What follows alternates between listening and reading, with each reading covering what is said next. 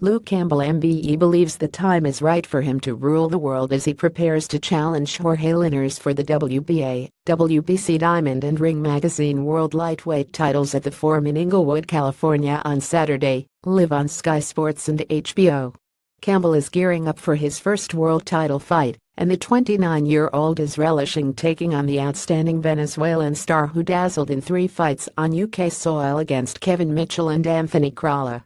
The London 2012 Olympic gold medal hero knows he's up against a great fighter on away turf, but the Hull Ace is embracing the challenge and says he always steps up to the task on the big occasion. This is why I turned professional, for big nights like this to test myself, said Campbell. I've had a great camp, preparation has been spot on. We've worked hard, and we've worked smart. I'm physically and mentally ready for this. I believed in my own ability, He's strong and durable with plenty of experience, but this is my time. It would be incredible to bring home the world title. I've made history in Hull before, a couple of times as an amateur so let's go for it again. Fighting on such a big stage doesn't change the preparation. Motivation is a massive thing.